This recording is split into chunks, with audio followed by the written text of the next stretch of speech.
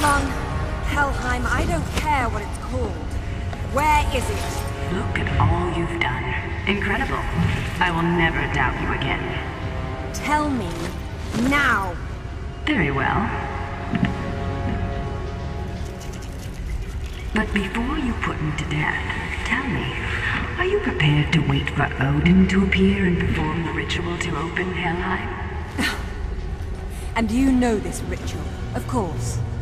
I'm sure you've realized that I want to get to Avalon just as much as you do. But neither of us can go alone.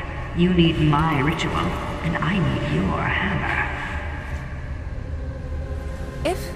No, when you step out of line, you'll get it. Stop! You destroyed my home. You killed Alister! I got what I wanted. Isn't that all we care about?